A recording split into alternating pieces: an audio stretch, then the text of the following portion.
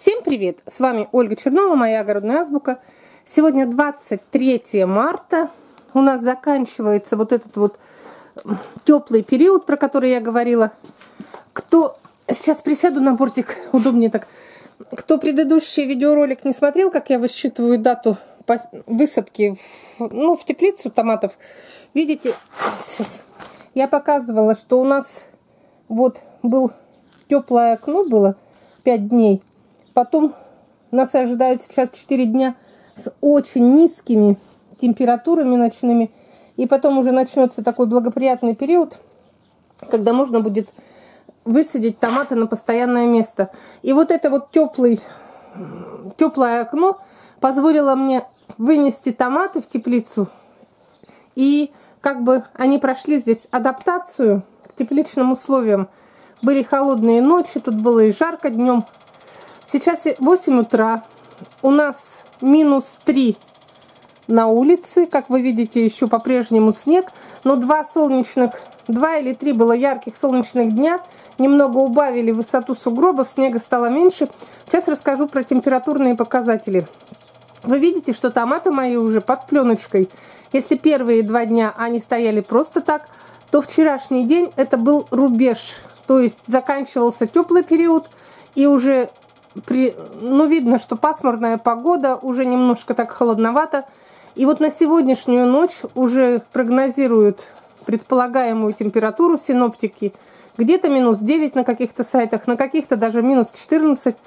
Это значит, что мы вот эти вот томаты я сегодня занесу домой. Это значит, что мы адаптацию закончили, и 4 дня придется еще потерпеть в духоте, в комнатных условиях. Но зато 4, через 4 дня я их вынесу и сразу начну высаживать, потому что они уже привыкли к теплице. Они тут стоят уже раз, два, три. Сегодня будет, по-моему, четвертый день. Про температуру я заикнулась. Вот смотрите, сейчас минус 3 на улице. Ничего не тает.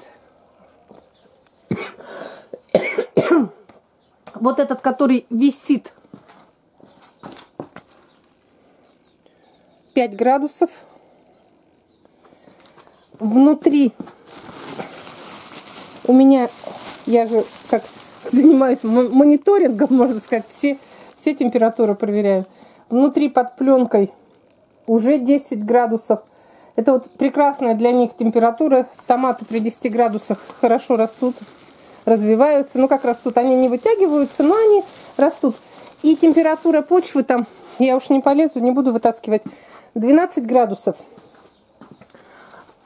Еще раз говорю, они не вкопаны в землю, они стоят в контейнерах.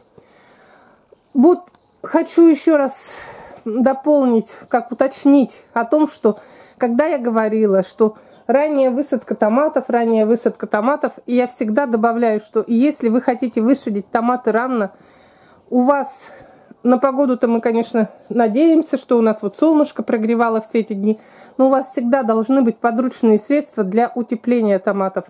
Я вот на сегодняшнюю ночь их утеплила. Они бы простояли, конечно, и так, потому что сегодня еще было не очень холодно, минус 3 всего на улице.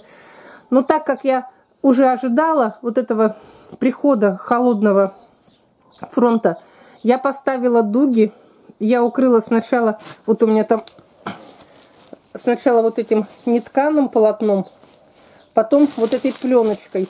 Они хотя все тоненькие, но так как вот эта многослойность получается, там все равно оно создается у них микроклимат, как мини-парничок. И там, видите, насколько теплее?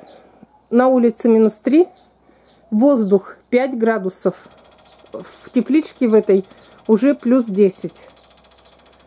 Тут работали у меня, конечно, ночью инфракрасные обогреватели. Днем они не работали, потому что днем температура сама по себе поднимается. Все, сегодня нам осталось вот с этими томатами прожить 23, 24, 25, 26 и 27 уже начнется тепло. Впереди 4 холодных дня с ужасно низкими показателями. Я говорю, даже до минус 14, до минус 17 ожидается.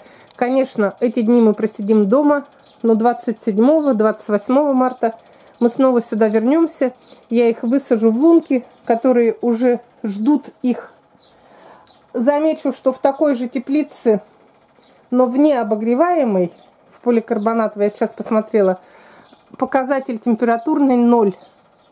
То есть сама по себе без обогрева теплица не сильно, как, не намного теплее в ней. То есть на улице минус 3, а в теплице 0. И все, кто в этом году, например, поставит теплицу впервые или осенью поставили, собираются весной высаживать, хочу еще раз напомнить, что сама по себе теплица без солнца, ей брать тепло неоткуда, и она очень быстро в пасмурную погоду остывает. Если вы будете высаживать пораньше, ну я уж про март не говорю, даже в мае, если вы будете высаживать, когда есть угроза возвратных заморозков, если у вас нет обогрева вот такого, как ну, как бы стационарного, электрического, обязательно нужно иметь вот какие-то такие укрывные материалы, дуги. Все это нужно запасаться заранее. И как только вы услышите прогноз о заморозках, о понижении температуры, нужно укутывать их заранее. Вот я своих вчера укутала, они поэтому прожили ночь прекрасно, без всяких, без стрессов. Я уже показывала, что я первый день их не укрыла, они стрессанули, я их эпином опрыскивала. Сегодняшняя ночь прошла без стрессов. Все. Кому интересно о самой ранней-ранней моей высадке, теперь репортаж из теплицы будет только через 4 дня, потому что 4 дня мы будем сидеть дома с чемоданчиками на низком старте, готовиться к высадке.